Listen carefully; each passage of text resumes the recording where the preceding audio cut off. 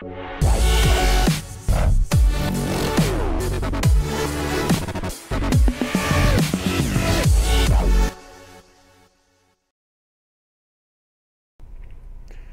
everybody, um, we're going to do a quick video today on how to use these two R buttons on the C-arm.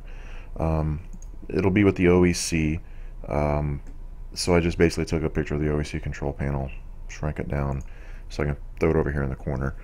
Um, if you're wondering why you're not seeing an actual C-arm, the hospital I work at has a very strict policy on uh, on taking video and pictures in the hospital and especially the OR whether there's patients or patient information around or not. So unfortunately, I can't do this with a live C-arm, which would be a lot easier. Um, so we're stuck with Adobe Illustrator uh, as our means of getting this message across. So if you bear with me, I'll try and uh, do the best I can to help explain this. Um, it's pretty simple once you know it, and, and once you get this down, no matter what position you're in, if you're on the right side of the table or, or the patient's left or the patient's right, you're going to know which one of these buttons to hit it's it's so easy once you understand it. Um, so basically, I just made an aerial view of this uh, this C arm here um, with the smiley face. Got a couple images we're going to go over. This shouldn't be too long. It's not that hard once you get it down. So in case you're unfamiliar, um, the OEC has a smiley face on the right side. It, it, may be scratched off due to the, the the age of the C arm, but always on the right side. And if you can match the right side of the C arm up with the patient's head, um, you, you should never have to really hit these R's unless you're doing a special type of case.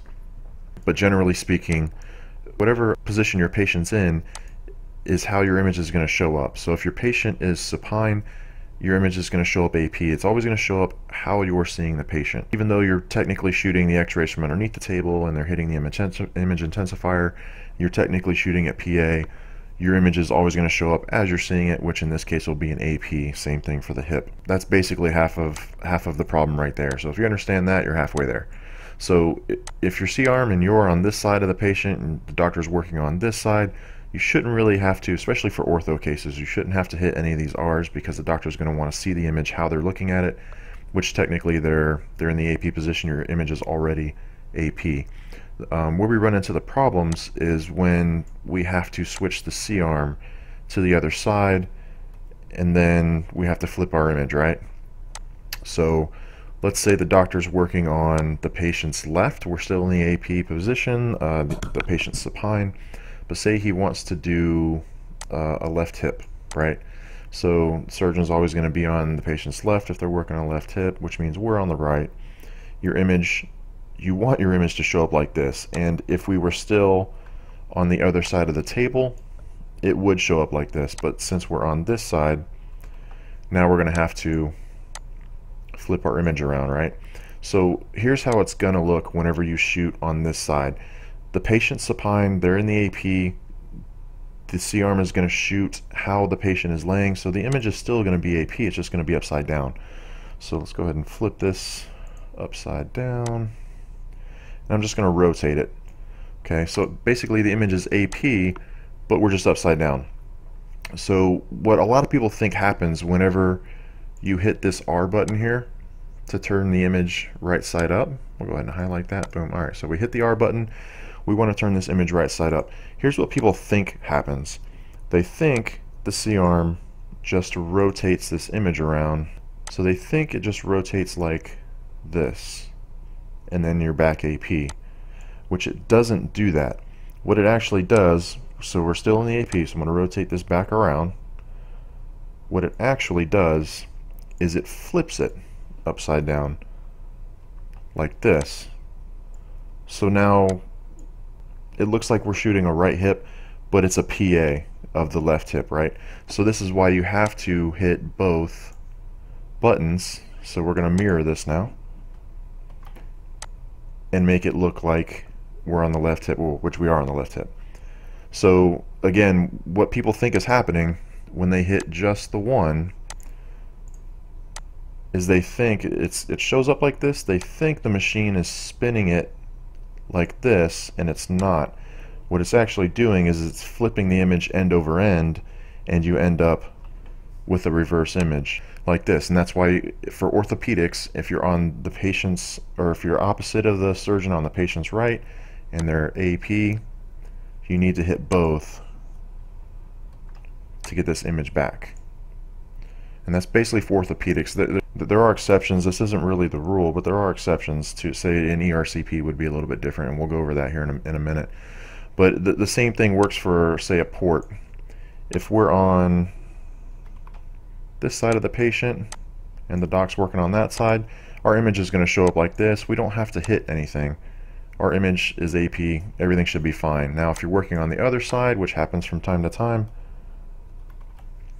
our C-arms over here, again, your image is still going to be AP, it's just going to be rotated upside down. So if we only hit this button here, our image isn't going to spin. Our image isn't going to spin. It's going to flip end over end and we end up with a PA chest, right? So again, in order to fix this, we need to hit our mirror button like so and flip it. And that's how we end up with an AP or PA depending on how you're seeing the patient. That's how you get your image correct on this side of the patient. Okay. Now, for ERCPs, it's slightly different. Um, I've seen ERCPs done both AP and PA. um, I'd say 90% of the time I do them where the patient's prone or excuse me, when they're doing supine or prone. 90% of the time, the patient's prone, and usually I'm on this side of the patient. The doctor and everybody's over here, anesthesia's up here. So, with what we now know about these images, all you have to do, and this is why all you have to do is hit this button here and not this one, and this is where people get confused. So, these images are AP, and that's what we want because the liver's on the right, the gallbladder's on the right, so we want to see an AP image but the, the patient's prone, which means the images are going to shoot PA, or excuse me, they're going to be shown PA. It's going to shoot AP, but they'll be shown PA. So let's go ahead and flip our images to a PA position because that's how they're going to show up on our monitor. Now, again, being on this side of the patient, and we're going to be shooting on the patient's right, eh, right about over here somewhere. So what's going to happen is our image is going to be uh, PA, but like we talked about before, it's going to be upside down, right? So what'll happen is since we're on this side and we want the image right side up, we're going to hit this button here. So now we've hit that. We're going to flip the image. Now again, it's not going to rotate it. It's going to flip it end over end and we're going to end up, even though we're, we're seeing a PA image here, we're going to end up with an AP image once we flip it. And that's how the doctor wants to see the image on screen as AP. Even though he's working prone and PA, they want to see the image AP. And that's why for ERCPs, you only have to hit this button and not both buttons. So again, we'll make this PA because that's how we're shooting. And we'll go ahead and turn these upside down. This one, well, let's highlight this one and we'll highlight you. Oh.